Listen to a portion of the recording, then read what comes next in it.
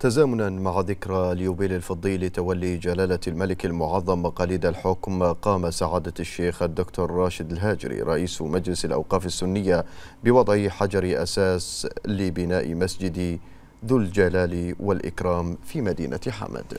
وقد أشاد رئيس مجلس الأوقاف السنية بما تحظى به دور العبادة في المملكة من دعم كبير في عهد جلالة الملك المعظم ودعم ومتابعة سمو ولي العهد رئيس مجلس الوزراء مثمنا الدور الكبير للمحسنين الكرام في بناء المساجد والتعاون الكبير في دعم هذه المشاريع الخيرية.